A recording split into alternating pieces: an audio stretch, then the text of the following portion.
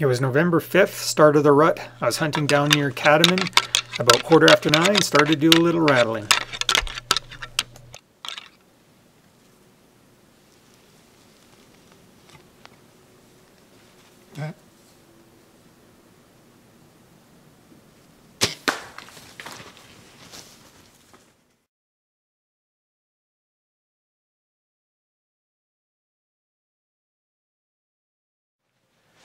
Well, I recovered him. Uh, probably didn't have to go back and wait two hours. It looks like I jumped him out of his bed and he ran down the hill and died because he only went about 50 yards further than where I stopped looking for him. But it's a little four point.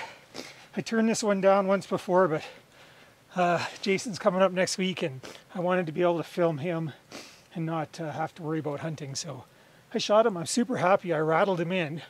I've never done that before, but I mean, I rattled and he came in like right to me maybe two minutes after I stopped. So pretty sure it's safe to say I rattled him in. Made a perfect shot.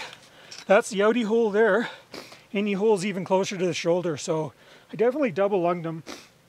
He just uh, just went a little bit. He, I don't know what happened, but he batted and then jumped up. So, but he, he definitely wasn't going to go far. It's actually a pretty big deer, big body. Had a hard time just dragging them 10 feet to bring them up to so I could take some pictures of them here.